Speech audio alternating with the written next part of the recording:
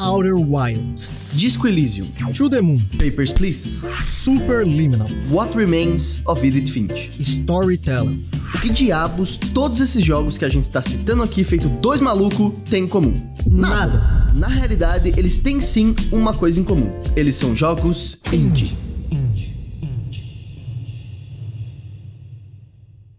Gente não tá falando da Fórmula Indy, que por sinal eu sei que tem milhares de fãs aqui. Até porque se fosse uma fórmula, seria a AAA. Far Cry, Horizon, Dying Light. Quando eu falo nesses jogos, por mais que cada um deles tenha a sua particularidade, eles ainda estão dentro da fórmula AAA. Um tem zumbi com parkour, o outro tem dinossauro, robô gigante e o outro, o outro é, o outro é Far Cry 3, mas cada vez com uma skin diferente. That is crazy.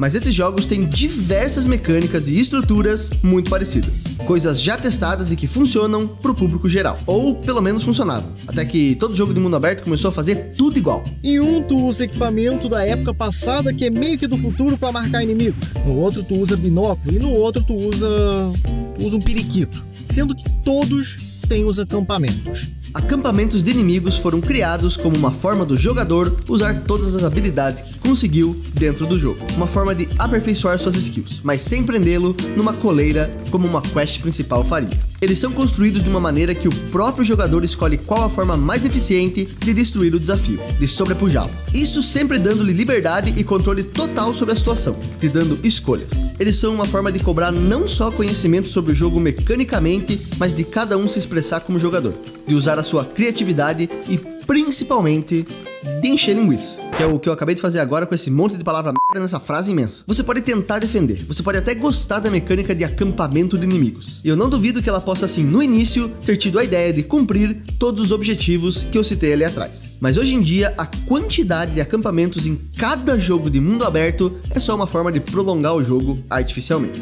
Mas acampamentos não são de todo ruim. Só faz do jeito certo, pô.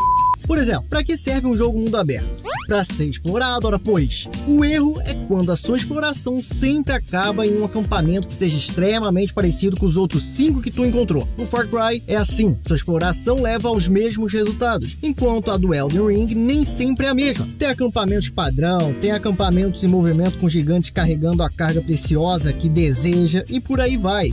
Eu não sei muito mais, mas eu sei que tem variedade aí porque eu não terminei ainda. O jogo é gigante. A verdade é que a maioria dessas mecânicas não seriam de todo mal se elas não fossem jogadas na cara do jogador. Eu não ia achar ruim estar andando pelo mapa, todo serelepe e encontrar um acampamento de inimigos, ou olhar pro horizonte, ver uma torre enorme e pensar, o que será que tem lá em cima? O problema é que a fórmula AAA te tira essa descoberta. Ela pega esses objetivos que podiam ser surpresas enquanto você explora o mapa e transformam em marcadores, pontos de interesse. Pontinho de interrogação. Não existe prazer em explorar esses mundos. O prazer é só ir fazendo uma checklist de objetivos, basicamente preenchendo uma caixinha vazia no formulário. O Halo Infinite é assim: uma gameplay boa, uma história bunda e um mundo aberto que que o pariu, não tem nada. É um grande checklist. Resgata os animais ali, libera os acampamentos aqui, usa uma bateria para liberar uma porta e uma uma construção que idêntica a 750 que já entrou no jogo. Meu Deus, se for para fazer um mundo aberto em que tudo é igual, faz um jogo linear com variação, como o Halo Reach. Mas esse tipo de prática não vem do nada. Ela não seria repetida a exaustão se não tivesse um motivo. E o motivo é simples: AAAs vendem. Sua fórmula pode ser batida e repetitiva, mas ao mesmo tempo ela apela para uma grande quantidade de pessoas e no final do dia isso acaba se pagando. E pode parecer que a gente está pegando no pé de alguns jogos ou empresas em particular nesse vídeo, mas o negócio é que qualquer jogo AAA que funcione comercialmente, seja com uma ideia original, uma adaptação de algo que surgiu do mercado indie, ou mesmo uma evolução de um conceito antigo, vai ser usado e repetido a exaustão pela saudável indústria do videogame. Enquanto der dinheiro, vai rolar mais e mais jogos com ideias e mecânicas parecidas. O Batman revolucionou o combate, o que fez que fosse criada uma nova fórmula AAA, e aí foi usada ao extremo em vários jogos. Até hoje existe no Miranha, mas faz mais sentido que no Batman porque ele tem um sentido aranha. É, talvez o Batman tenha um sentido morcego. Ah, não me enche o saco, fãs. E tem o Call of Duty, que é. Bom, como posso explicar? É o COD, né? FPS, mesmas coisas. Se tu matar tantos no multiplayer, tu tem um kill streak e por aí vai. Teve uma época que eles passaram anos sem atualizar a engine deles. Anos. E continuaram sendo um dos jogos mais vendidos do mundo em todos esses anos. E a gente falou de vários exemplos de mundo aberto que, apesar de serem sucesso comercial, não são muito bem quistos pelo público e às vezes nem pela crítica. Mas esse não é o caso de todos os jogos de mundo aberto. Fazia algum tempo que a indústria de jogos estava precisando de uma mexida nos jogos de mundo aberto. E uma das pioneiras do gênero, a Rockstar, deu um tapa na cara de todo mundo com Red Dead Redemption. A Rockstar percebeu que podia sim criar um mundo que fosse interessante de explorar e divertido de se jogar, mas apostou todas as suas fichas em criar um mundo que tinha tudo isso, mas que ao mesmo tempo também era super imersivo. Nele começaram a se popularizar as mecânicas como o mundo vivo que existia independente do jogador, além dos eventos dinâmicos, que contavam pequenas histórias que aconteciam randomicamente em meio à jornada de cada jogador. Várias dessas mecânicas que foram sim usadas por outros jogos sem o mesmo sucesso, mas que tiveram jogos que aperfeiçoaram, como Breath of the Wild e o próprio Red Dead Redemption 2. E se você teve o prazer de nascer lá por 1992, você tinha a idade certa para ver o surgimento e a popularização de Clayton, o deus da guerra.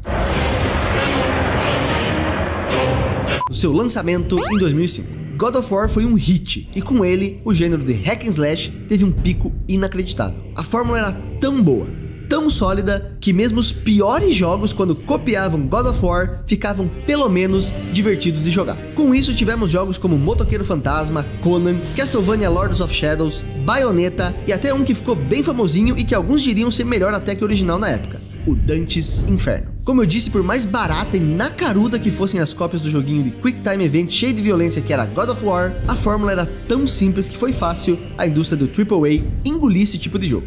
Já os jogos indies são o inverso disso. Eles tentam pegar a fórmula AAA e destruir para poder se destacar com pouco orçamento que tem. Vamos pegar os jogos que citamos no início do vídeo como exemplo. Outer Wilds, um jogo perfeito, lindo e gostoso de exploração sem amarras. Temos um vídeo falando sobre ele aqui. Procura que tu acha. Vou colocar link não porque aqui é filosofia Outer Wilds, explore e seja curioso que será recompensado. Não vou pegar na sua mão e colocar um ícone no seu objetivo não, tá? Disco Elysium é o típico jogo que você escolhe para jogar num dia que estiver querendo se sentir burro. Aliás, tem um vídeo muito show no meu canal. Ou não tão show assim. awesome. Vai lá assistir que diferente do DJ eu vou deixar um link aqui. Disco Elysium é um CRPG e se difere de outros jogos desse mesmo gênero de algumas maneiras. Mas acho que a maneira mais simples que tem de exemplificar o quão diferente é Disco Elysium é simplesmente dizer que o jogo não tem um sistema de combate. Tudo é resolvido através de diálogos e de um sistema baseado em roladas de dado e nos atributos do seu personagem. Se pegou em uma conversa precisando extrair informações de uma pessoa, use os seus pontos de retórica para fazer isso. Ou então precisa arrombar uma porta? Rola os seus dados de resistência aí. E o mais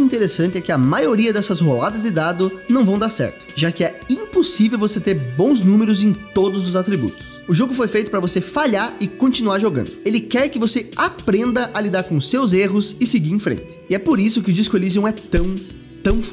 E também vai derreter o seu cérebro de tanto pensar e a retina de tanto ler na telinha do PC.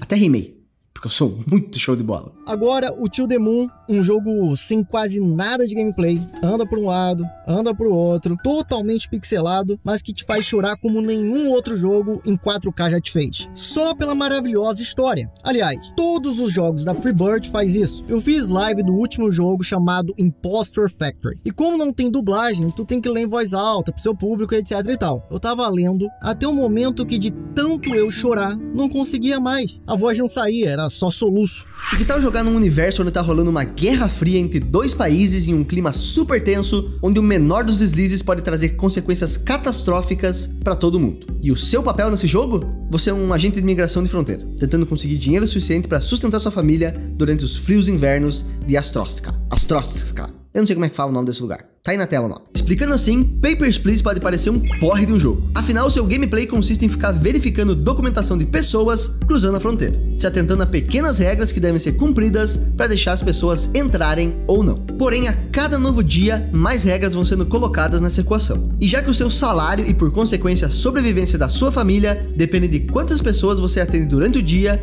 atender de forma rápida e eficiente se torna o seu lema e também o seu foco de ansiedade. Papers, Please pode parecer simples e mesmo monótono monótono, mas é um jogo que vale muito a pena. Seu gameplay singelo é explorado cada vez mais durante a jogatina e a sua narrativa tensa torna toda a experiência super marcante. Superliminal é um jogo bem das dorgas. Brinca com a perspectiva. Esse cubo tá grande ou pequeno? Depende. É difícil falar de Edith Finch sem dar spoiler de nada, mas eu vou resumir. No jogo você joga com Edith, uma garota que tem uma família um tanto quanto peculiar, os Finch. Mas o que tem de tão peculiar nessa família? Bom, Todos os seus membros morreram de maneiras misteriosas e inusitadas. E você, como última sobrevivente da árvore genealógica, vai até a antiga mansão da família para tentar descobrir mais informações sobre esses eventos malucos e, ao mesmo tempo, conhecer mais sobre a sua própria história. What Remains of Edith Finch é um walking simulator que explora diversas mecânicas em seu gameplay, de maneira que cada conto sobre cada membro da família pode ser considerado um tipo de minigame. E cada um desses minigames é cheio de personalidade, carisma e ao mesmo tempo explora toda a faceta sombria sobre a vida e a morte. Só vai jogar esse jogo, que ele é bem curtinho e é bom demais. Os indies são f... Cara, Storyteller, um jogo de uma dev argentina que simplesmente é genial. A ideia é genial. Ele nem lançou ainda, mas vale a pena citar ele aqui. Eles te dão um título de história, personagens e ambiente. Agora tu tem que pegar isso e fazer uma história que faça sentido com o título que foi te dado. Diferente de sites de notícias que, né, não precisa ter nexo. Alô, seu site do Pompano, vai lá!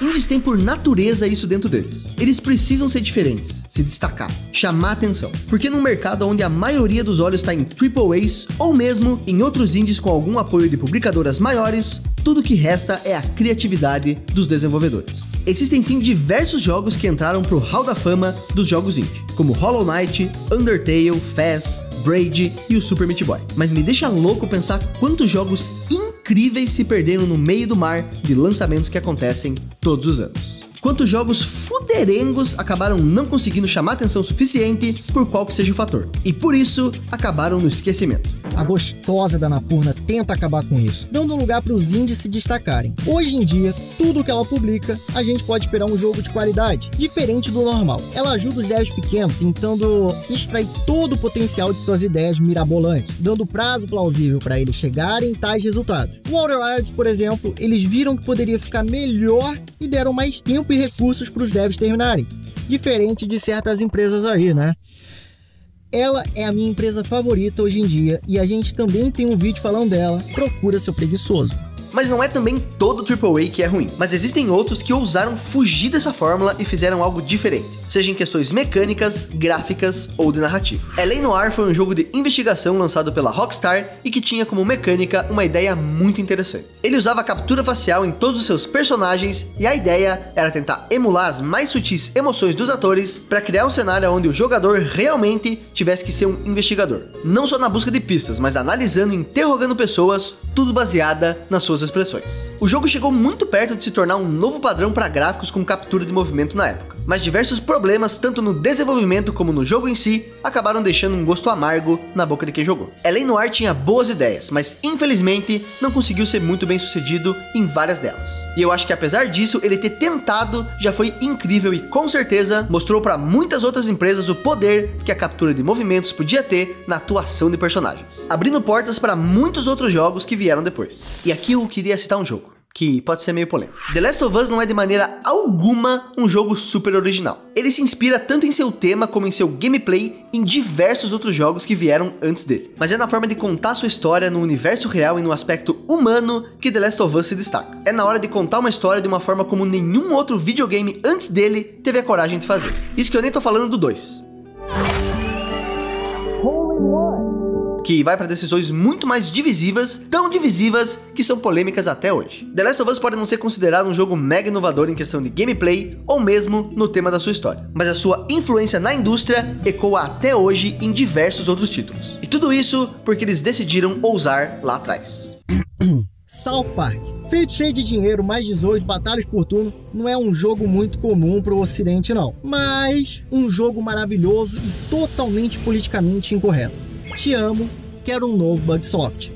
Dev Stranding, ou devo dizer, Hideo Kojima, o cara que pode produzir indies com orçamento de AAA. Não é novidade que as opiniões são divididas quanto a esse jogo. Eu gosto, fujo mais ou menos, e o Tucas odeia. Mas, por que isso faz tanto burburinho? Porque é um AAA e não um indie. Um AAA deve ser quase unânime, coisas que Death Stranding com certeza não é. A verdade é que os AAAs têm muito a aprender e a se inspirar nos indies. A gente deu exemplos de jogos que tinham boas ideias e fracassaram, de jogos que ousaram e mudaram a indústria, e isso é uma coisa que falta muito nos AAAs. Nós sabemos que o que eles fazem tem um motivo, sabemos que esses jogos precisam vender para pagar o investimento absurdo que está sendo feito neles, mas sabemos também que uma coisa não sacrifica a outra. Enquanto os AAAs ficarem estagnados em reproduzir a mesma fórmula, esses jogos não vão ter nenhum tipo de avanço. Graficamente você vê sim avanços em cada novo jogo, mas os jogadores estão cada vez menos interessados em polígonos e ray tracing e cada vez mais procurando experiências impactantes e que realmente façam alguma diferença em suas vidas. Porque mais do que ir limpando acampamentos de inimigos, eu quero que os meus jogos AAA façam discutir sobre eles com outras pessoas durante meses. Eu quero que jogos voltem a mudar a minha vida como eles faziam alguns anos atrás. E sinceramente, cara, tu pode até não gostar, o que é normal, porque são jogos diferentes e nem tudo é para todo mundo. Essa é uma das diferenças entre os AAAs e os indies. Eles costumam não ser para todo mundo. Por exemplo, se tu fala com uma pessoa que não gostou de God of War, tu tenta entender o porquê ela não gostou. Já com To The tu tenta entender o porquê este estilo de jogo não faz parte do gosto dela. Jogos indies não são feitos normalmente para todo mundo. Eles se encaixam em nichos e tentam se destacar dentro deles. Essa é a beleza comparada aos AAA. Eles não tentam seguir uma fórmula, mas sim quebrar elas. Eles são diferentes, em uns tu chora, em outros tu se surpreende em outros tu odeia. Olha como esse jogo chamado I Am Fish é diferente. Tu é um peixe. Tu sabe de cara que ele não é de uma empresa gigante só por ser diferente das fórmulas que os AAAs costumam seguir. Olha como essa gameplay é diferente. Travou. Também ficar jogando essas bosta desse jogo indie?